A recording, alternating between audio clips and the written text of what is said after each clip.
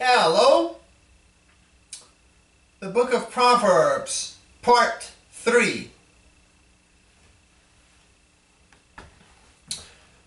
Proverbs 25. And of course, here's the third part of Proverbs. Proverbs 25 1. These are also Proverbs of Solomon, which the men of Hezekiah, king of Judah, copied out. If we go back to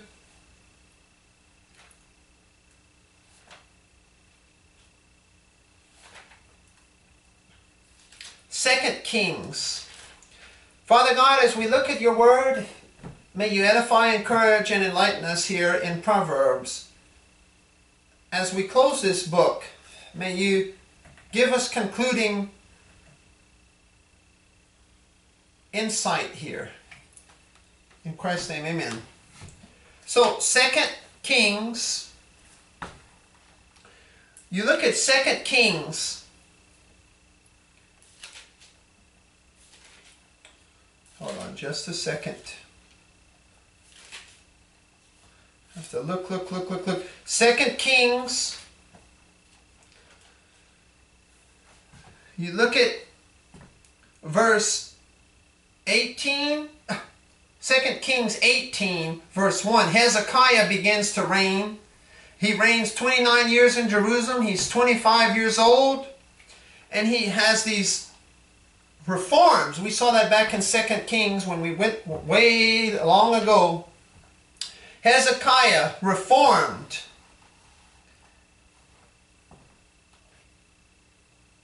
Jerusalem and Judah. He put away the images that his father had made, Ahaz.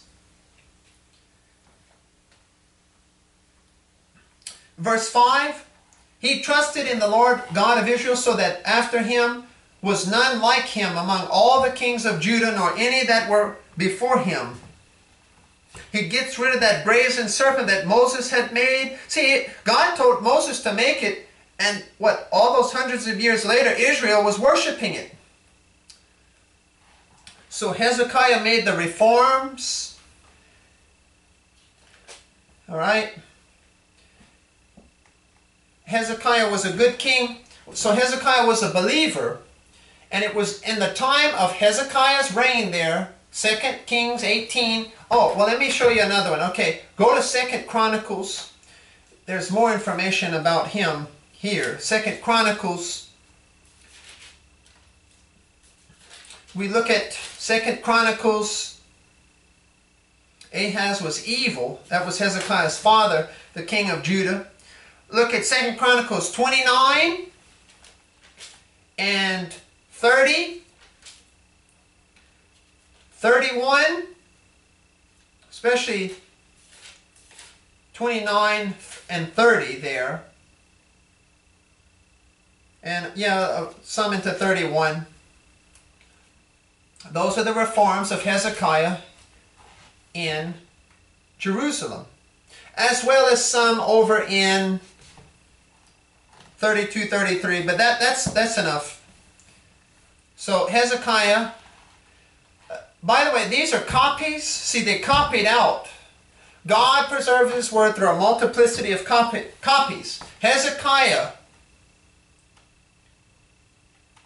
had scribes who were writing copies of what Solomon had written hundred something years earlier. And so this became part of the book of Proverbs as well. So Solomon is dead. Solomon wrote those other chapters. Well, Solomon's dead, and now Solomon wrote these chapters, and Hezekiah and his men, they find them, and they copy them and add them to the book of Proverbs here.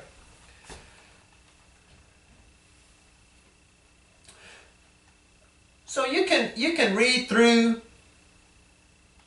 Proverbs 25. I would like to move a little faster in Proverbs. Uh, well, we'll look at verse 11. A word fitly spoken is like apples of gold and pictures of silver. Beautiful. As an earring of gold and as an ornament of fine gold, so is a wise reprover upon an obedient ear. Wants to straighten up? Yep, it'll it'll it'll decorate his life. The the advice will decorate his life because he, he wants to reform. See, you don't want to hear anything? Well, that's your problem. By long forbearing is a prince persuaded. 15. And a soft tongue breaketh the bone. Hast thou found honey? Eat so much as is sufficient for thee. Lest thou be filled therewith and vomit it out. And uh, verse 27, it's not good to eat much honey. the 17, withdraw thy foot from thy neighbor's house, lest he be weary of thee and so hate thee. You're a pest. Stop coming over here so often. A man that beareth false witness against his neighbor is a maul and a sword and a sharp arrow weapon.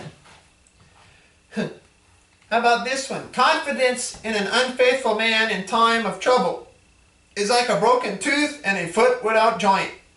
a foot out of joint, not dependable, not reliable. As he that taketh away a garment in cold weather, as vinegar upon niter, that's like baking soda. So is he that singeth songs to an heavy heart. It's an explosive reaction there. Instead of comforting the heavy heart, you sing it songs to it. See, if thine enemy be hungry, give him bread to eat. And if he be thirsty, give him water to drink. For thou shalt heap coals on fire upon his head, and the Lord shall reward thee. Come over to Romans 12. Remember what I said? You can quote Proverbs to some degree, but be careful. Watch how the Holy Spirit moved the Apostle Paul to quote Proverbs.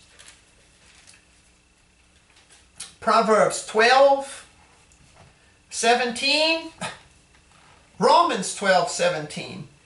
Recompense to no man evil for evil, provide things honest in the sight of men, walk as who you are in Christ because that is the truth. You're not lost, you're saved. Walk like who you are. Don't walk like who you aren't. If it be possible, as much as lieth in you, live peaceably with all men. Dearly beloved, avenge not yourselves, but rather give place unto wrath, for it is written in Deuteronomy, Vengeance is mine, I will repay, saith the Lord. That's Deuteronomy 32, 35. 20, Therefore, if thine enemy hunger, feed him. If he thirst, give him drink. For in so doing, thou shalt heap coals of fire on his head. Be not overcome of evil, but overcome evil with good. There's Proverbs 25. 21 and 22 there. Paul quoted that. So, look at verse 23. The north wind driveth away rain, so doth an angry countenance a backbiting tongue. It is better to dwell in the corner of the housetop than with a brawling woman and in a wide house. As cold waters to a thirsty soul, so is good news from a far country. A righteous man falling down before the wicked is as a troubled fountain and a corrupt spring. He that hath no rule over his own spirit, no self-control, is like a city that is broken down and without walls no defense. He's vulnerable. Chapter 26, Psalm, uh, Proverbs 26. I'm getting tired. As snow is in summer, and as rain in harvest. Going to wake myself up. So honor is not seemly for a fool. I'll walk around, make myself wake up. As the bird by wandering, as the swallow by flying, so the curse causeless shall not come. A whip for the horse, a bridle for the ass, and a rod for the fool's back. Answer not a fool according to his folly, lest thou be lest thou also be like unto him. See, don't agree with him. Answer a fool according to his folly, lest he be wise in his own conceits. Give him the truth and let him go and argue with that. Otherwise, he's going to think that he's right. But you put some corrective information within his sight and within his hearing, And uh, that word will work on him. The Holy Spirit will work on him. And whether he believes it or not, that's not your problem. You tell them the truth and you let them choke on it and let them go fight with God about it. That goes for saved and lost people alike. They don't want to get saved, they want to stay lost. But the saved people want to stay ignorant. Well, you tell them and then you move along. You don't waste time on people who don't want to hear anything. You make wise use of your time. We only have so much time on earth and so many people that we can reach.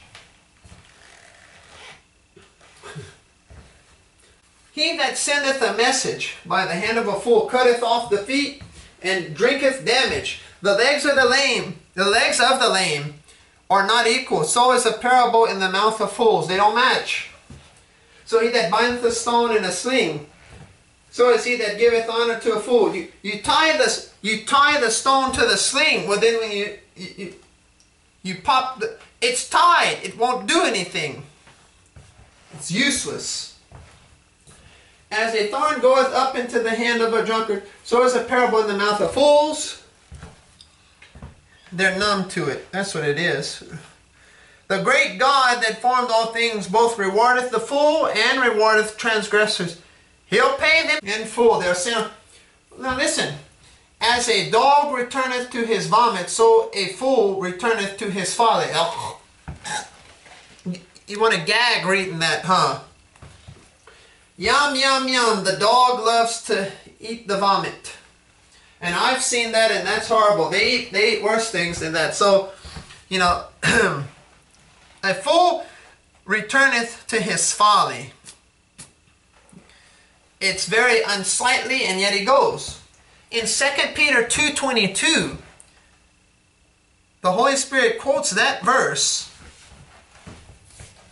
as applying to those who are deceived by the Antichrist and his religious system.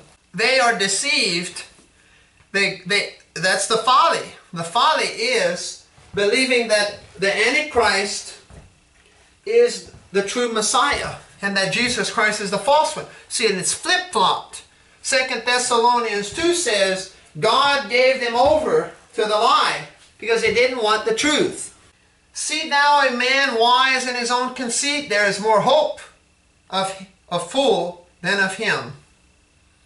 Yeah, they think they're on the right path. There's the true Messiah. He's sitting, Second Thessalonians 2, he's sitting in the temple showing himself that he's God.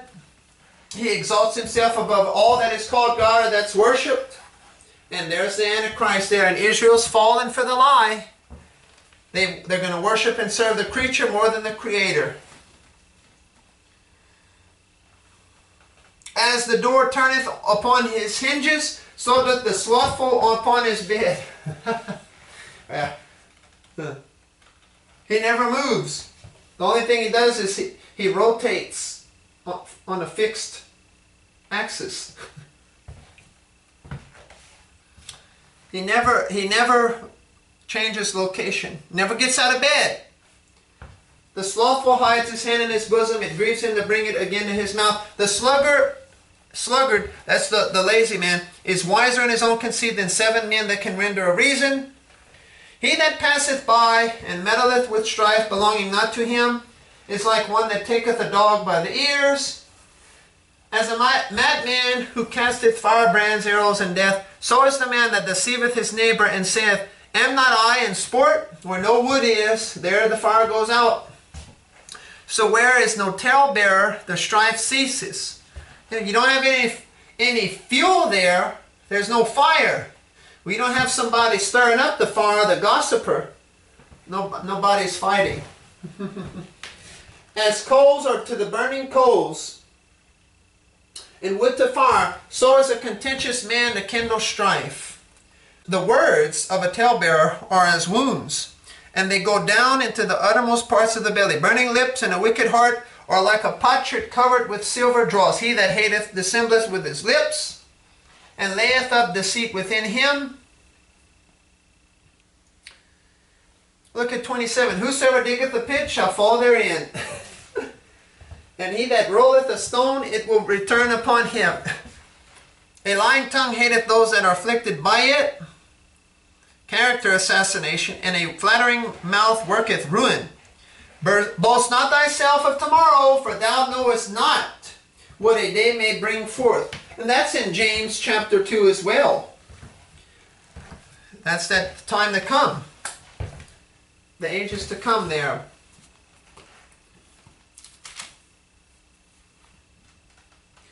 A stone is heavy. Oh, look at verse 2. Let another man praise thee, and not thine own mouth, a stranger, and not thine own lips. A stone is heavy, and the sand weighty, but a fool's wrath is heavier than them both. Wrath is cruel, and anger is outrageous, but who is able to stand before envy? Open rebuke is better than secret love. It's better to tell the truth and offend than love somebody and never tell them. It's better to tell the truth. Faithful. It's better to tell the truth even if it offends. That, that's, that, I should have said. Faithful are the wounds of a friend, but the kisses of an enemy are deceitful. Verse 12, a prudent man foreseeth the evil he sees out into the distance and hides himself. But the simple pass on and are punished. Oh, we'll just keep on going. And then they're, yep. There'll be some trouble there. A continual dropping in a very rainy day and a contentious woman are alike. Whosoever hideth her hideth the wind, and the ointment of his right hand, which bewrayeth itself. Iron sharpeneth iron, so a man sharpeneth the countenance of his friend. Whoso keepeth the fig tree shall eat the fruit thereof, so he that waiteth on his master shall be honored. As in water face answereth to face, so the heart of man to man. The heart is the reflection of the man, just like water is the mirror of the face. The face looks at the water and it sees itself. The man's heart exposes him. Hell and destruction are never full, so the eyes of man are never satisfied. As the finding pot for silver and the furnace for gold, so is a man to his praise. Though thou shouldest bray, pound a fool in a mortar. Remember the pestle and mortar? Like crushing herbs or, or medicine in a mortar among wheat with the pestle. Yet will not his foolishness depart from him. You can pound him, pound him, pound him, and you can't get the foolishness out of him. Be thou diligent to know the state of thy flocks, and look well to thy herds. For riches are not forever, and doth the crown endure to every generation. 28. The wicked flee when no man pursueth, but the righteous are bold as a lion. For the transgression of a land, many are the princes thereof, but a man of understanding and knowledge, the state thereof, shall be prolonged. A poor man that oppresses the poor is like a sweeping rain which leaveth no food. They that forsake the law praise the wicked, but such as keep the law contend with them. Evil men understand not judgment, but they that seek the Lord understand all things. Better is the poor that walketh in his uprightness than he that is perverse in his ways. Whosoever keepeth the law is a wise son, but he that is a companion of riotous women shameth his father. He that by usury and unjust gain increases his substance, he shall gather it for him that will pity the poor. He that turneth away his ear from hearing the law, even his prayer shall be abomination. See the legalism there? That's why I tell you, the legalism involved in Proverbs, that's how we know Proverbs is not grace-oriented material. We can use Proverbs with caution, but see, that takes some spiritual maturity, discernment. Look, look, look, look at Romans 12, how Paul quoted Proverbs. Right? You don't throw away Proverbs. You just, you use it, but rightly divide it. A man that doeth violence to the blood of any person shall flee to the pit. 17. Let no man stay him. 20. A faithful man shall abound with blessings, but he that maketh haste to be rich shall not be innocent. That's a good verse for people who always say, Oh, I wish I would win the lottery. He that maketh haste to be rich shall not be innocent. Greed. Greedy. Well, you know what? If you do win the lottery, you're not just going to win a lot of money, you'll win a lot of friends, and they'll always be at your door. Hey, can I borrow some money? A lot of dependents. And then you know what? There'll be people who come along who are less kind. And they'll stick a gun in your face or a knife against your back and they'll say, Give me everything you have. You see, wealth, the two risks. One, your friends will come along and borrow it and you have nothing. And two, the thief will come along and steal it and you have nothing. Always worrying about losing it one way or the other. We'll see that in Ecclesiastes. Verse 10 Whosoever causes the righteous to go astray in an evil way, he shall fall himself into his own pit, but the upright shall have good things in possession.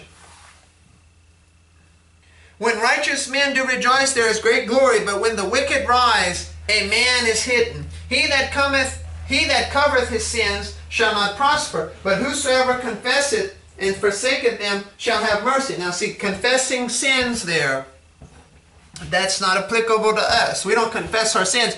God has forgiven us our sins. Now we change our mind. Well, yes, we did something wrong. Now we're gonna we're gonna take some sound Bible doctrine, Pauline doctrine, and do what's right. See, you get rid of what was wrong and you do right. See, bad behavior replaced by good behavior. Put off the old man, put on the new man. Colossians, Ephesians, that's for that's for believers. For lost people, it's not stop sin and get saved, it's get saved and then you can stop those sins. Trust Christ, then you can have the victory over daily sins.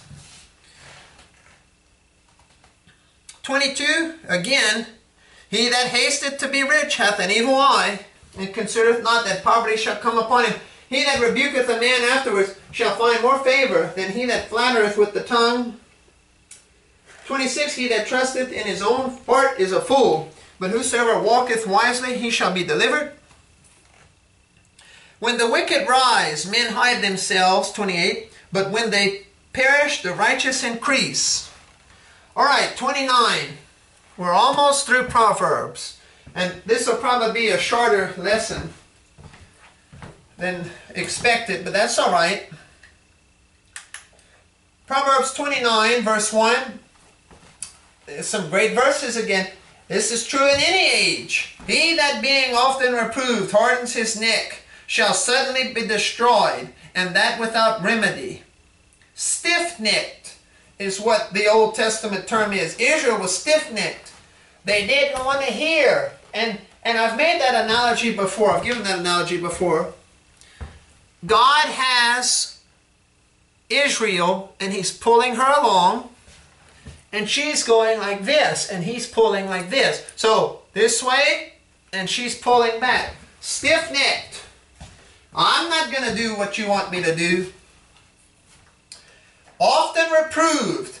This is what you're doing wrong. This is what you're doing wrong. This is what you're doing wrong. And you have to keep telling them, harden the neck, stiff. It's, it's going to be to the point where it's immovable. It's going to be like that. And you, see? And that, they will be, he that being often reproved hardens his neck. The reproof is having no effect on him. Shall suddenly be destroyed, and that without remedy. That's true. Yep. Almost dropped the... So, let's say somebody has heard the gospel one time, the gospel of grace. Oh no, I don't care to hear that. I'm working my way, brother. They hear the gospel a second time. Oh no, don't want to hear that. My church says. The third time. And we could talk about the atheist or whoever. I don't believe in God. Don't come to me with that Bible thumping. Whoever, whoever rejects the gospel, this is true of it, whoever rejects the gospel. So they hear the gospel 15 times, 20 times, 30 times, 40 times, 100, 500, 1,000, 10,000 times. Let's say it's a person who lives a whole century. How many times did they hear that gospel message? And just like Pharaoh in Egypt, Moses would say, The Lord God says, Let my people go, Pharaoh. And Pharaoh would reply, No. Who is the Lord? I'm not letting Israel go. Said haughtiness, sinful pride. Pharaoh says, I'm not letting them go. I'm not letting them go. I'm not letting them go. I'm not letting them go. Over and over and over. Pharaoh says, no, no, no, no, no. And it's and we saw in Exodus he hardened his heart and God hardened his heart. How did God harden his heart? It was with that word. That word would put pressure on Pharaoh, let my people go. And Pharaoh would have that choice. Yes, no. And every time he'd side with the no. Uh-uh. No. Uh-uh. No. Uh-uh. No. No, no, no. Well, you hear the gospel enough? Now, that's for lost people. Let's say saved people. They hear sound Bible doctrine, they hear grace, and yet, nope, they say, I want to go back to the law. I want to go to Matthew, Mark, Luke, and John. I want to go to the Old Testament, uh, Genesis through Malachi. And really, yeah, Matthew through John are, are Old Testament too. They're before the cross. Hebrews 9 says, before the cross, that was the Old Testament. The Old Testament, the New Testament can't begin until after the cross. But, I uh, don't want to get technical there. The point is, they're hearing the sound doctrine and they're re rejecting it, whether saved or lost. And see, they're being, they're, they're, they're hardening their neck and shall be, shall suddenly be destroyed and that without remedy. And see, the lost person, they'll go to hell in the lake of fire. The Christian, no, they won't die and go to hell. But you know what? Their life will, their Christian life will fall apart. Because they're not operating on the doctrine God gave them, grace. They're operating on the basis of legalism, the law. Something God never told them. See, they're not rightly dividing the word of truth. Using the Bible, being scriptural, not dispensational. And there's trouble there. All right. Let me get back to Proverbs chapter 29, verse 2. When the righteous are in authority, the people rejoice, but when the wicked beareth rule, the people mourn. Whosoever loveth wisdom rejoices his father, but he that keepeth company with harlots spendeth his substance. Now the prodigal son, that's Israel. Wasting their time on nonsense. Spiritual whoredom. The king by judgment establishes the land, but he that receiveth gifts overthroweth it. Uh, the man that flatters his neighbor spreadeth a net for his feet drop down to verse 9. If a wise man contendeth with a foolish man, whether he rage or laugh, there is no rest. Hmm.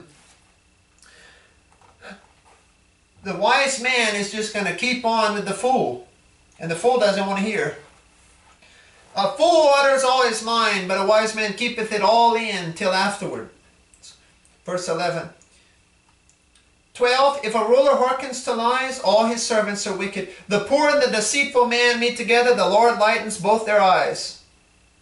The king that faithfully judgeth the poor, his throne shall be established forever. The rod and reproof give wisdom, but a child left to himself bringeth his shame, bringeth his mother to shame. Yep, no discipline. When the wicked are multiplied, transgression increaseth, but the righteous shall see their fall. Correct thy son, and he shall give thee rest. Yea, he shall give the light unto thy soul. Where there is no vision, the people perish, but he that keepeth the law, happy is he. A servant will not be corrected by words, for though he understand, he will not answer. Seest thou a man that is hasty in his words, rash in his words? Careless, there is more hope of a fool than of him. 22. An angry man stirreth up strife, and a furious man aboundeth in transgression. A man's pride shall bring him low, but honor shall uphold the humble in spirit. Whoso is partner with a thief hateth his own soul, he heareth cursings, cursing, and bewrayeth it not. The fear of man bringeth a snare, but whoso putteth his trust in the Lord shall be saved. Don't rely on the Antichrist, see? And don't worry about the Antichrist. Don't fear him, Israel. You put your trust in the Lord, you'll make it. He'll bring you through that time of trouble. Many seek the ruler's favor, but every man's judgment cometh from the Lord. An unjust man is an abomination to the just, and he that is upright in the way is abomination to the wicked. All right, Proverbs 30. The words of Agur, the son of Jacob, Jakeh, even the prophecy. Who is who is Agur? We don't know. Just leave it at that. The man spake unto Ithiel, even unto Ithiel and Ochel. Surely I am more brutish than any man, and have not the understanding of a man. This is the audience of wisdom. I neither learn wisdom nor have the knowledge of the holy. Verse 5 Every word of God is pure. He is a shield unto them that put their trust in him. Add thou not unto his words, lest he reprove thee, and thou be found a liar. Yeah, that, that's a good one for the cults there, like the Book of Mormon. Oh, here's another testament of Jesus Christ. Or the Quran which claims to be a correction of the Old Testament. Whatever. The modern versions, they add to God's Word, they take from God's Word, they water down God's Word, they question God's Word, they deny God's Word. Genesis 3, just like Satan encouraged Eve to do. Wishy-washy in doctrine. Well, trouble.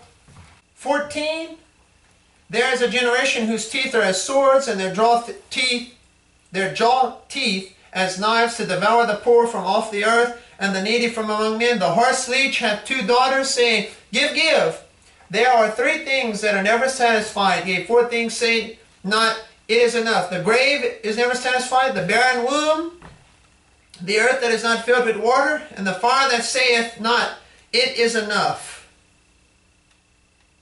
17, now here, here's one. The eye that mocketh at his father, and despiseth to obey his mother. The ravens of the valley shall pick it out, and the young eagles shall eat it. Now see, that's not true today. You see, you can use that and mock the Bible and say, uh, let, let's, let's suppose the delinquent goes and mocks his mother, mocks his father, despises to obey his mother, and he mocks. He says, ha ha, well God's word says the raven doesn't come and peck out my eye, and no raven comes. But see, rightly divided, there's a time this is applicable. All right? There be three things which are too wonderful for me, yea, four which I know not. The way of an eagle in the air, the way of a serpent on a rock, the way of a ship in the midst of the sea, and the way of a man with a maid. No, they, they leave no trace. See, what happens there's no evidence. No evidence concealed there. The way of a man with a maid, well, that's sexual connection. The way of an eagle in the air, you can't trace that. There's, there's no lasting evidence there. See, the way of a serpent on a rock, it doesn't leave a, a trail the way of a ship in the midst of the sea. Such is the way of an adulterous woman. She eats and she wipes her mouth. She hides. And then she's a hypocrite. She says, I've done nothing wrong. For three things the earth is disquieted, and for four which, with which it cannot bear. A servant when he reigneth, and a fool when he is filled with meat, an odious woman when she is married, and a handmaid that is heir to her mistress. See? Reversals, in other words, or strange. In verse 24, there are four things which are little on the earth but are exceeding wise. The answer of people not strong, yet they prepare their meat in summer. The conies are but a feeble folk, yet make their houses in the rocks. The locusts have no king, yet they go forth all of them by bands. The spider taketh hold with her hands and is in the king's palaces. See, small beings, but they're wise. See, they know how to plan, they know how to coordinate, they know how to prepare, organize. All right, then three things which go well, four are comely and going. The lion which is strongest among beasts and turneth not away from for any, a greyhound, and an he goat also, and a king, against whom there is no rising up. If thou hast done foolishly in lifting up thyself, or if thou hast done hast thought evil, lay thine hand upon thy mouth. Surely the churning of milk bringeth forth butter, and the wringing of the nose bringeth forth blood. So the forcing of wrath bringeth forth strife. Yeah, you start something and something will be started there. Alright, the words of King Lemuel, the prophecy that his mother taught him. Now, King Lemuel, we would assume, and, and there's, there's really no way to know for absolute certainty, Lemuel, Lemuel may be Solomon. Lemuel belonging to God, Hebrew, Lemuel, Elohim, God. The prophecy that his mother taught him. So Bathsheba, Solomon, Bathsheba taught this to Solomon. What, my son? And what the son of my womb? And what the son of my vows? Give not thy strength to women, nor thy ways to that which destroyeth kings. It is not for kings, O Lemuel, it is not for kings to drink wine, nor for princes strong drink, lest they drink and forget the law. See, perverting the judgment, wine clouds the mind, strong drink. It's not good for rulers to engage in this. Nor it is not good for princes to drink wine, nor for princes strong drink, lest they drink and forget the law and pervert the judgment of any of the afflicted. Give strong drink unto him that is ready to perish. Yes, see, he's dying. And wine unto those that be of heavy hearts. Let him drink and forget his poverty, and remember his misery no more. Open thy mouth for the dumb and the cause of all such as are appointed to destruction. Open thy mouth Judge righteously and plead the cause of the poor and needy. All right, so that was about a wise king. Now we will see the woman here, the virtuous woman. 10 to 31, that's 22 verses. This is an acrostic. Each verse begins with the next letter of the Hebrew al alphabet. So we go from Aleph all the way to the end. Uh, in English, we'd say A to Z, all right? but the Hebrew alphabet has 22 letters, not 26, obviously, like us. Who can find a virtuous woman? For her price is far above rubies. The heart of her husband doth safely trust in her, so that he shall have no need of spoil. She will do him good and not evil all the days of her life. She seeks wool and flax and worketh willingly with her hands, a hard worker. Now see, this is, this is, um, this would describe a woman even today, a godly woman, somebody whom God the Holy Spirit is working through. What would she look like? Well, you, you can go look in Ephesians 5, the wife and the, the mother there, as well as Titus 2 and Colossians 3. But listen to Proverbs 31. You might have heard of a Proverbs 31 woman. Well, he, he, here's the Proverbs 31 woman that, that they're referring to. She is like the merchant's ships. She bringeth her food from afar. She riseth also while it is yet night, and giveth meat to her household. She provides and a portion to her maids. She considers a field and buys it. A businesswoman, see, a wise woman, with the fruit of her hands she plants a vineyard. She girdeth her loins with strength, and strengtheneth her arms. She perceives that her merchandise is good. Her candle goeth not out by night. She layeth her hands to the spindle, and her hands hold the distaff. She stretcheth out her hand to the poor. Yea, she reacheth forth her hands to the needy, benevolent, kind, caring person. She is not afraid of the snow for her household, for all her household are clothed with scarlet. She's made provision for them in the cold weather. In winter time, for example, she maketh herself coverings of ta uh, tapestry. Tapestry. Her clo I'm getting tired and we're almost done. Her clothing is silk and purple. Her husband is known in the gates when he sitteth among the elders of the land. See, she's maturing as the years have passed. She maketh fine linen and selleth it, and delivereth girdles unto the merchant. Strength and honor are her clothing, and she shall rejoice in time to come. She opens her mouth with wisdom, and in her tongue is the law of kindness. She looketh well to the ways of her household, and eateth not the bread of idleness. Slothfulness, laziness. She's diligent.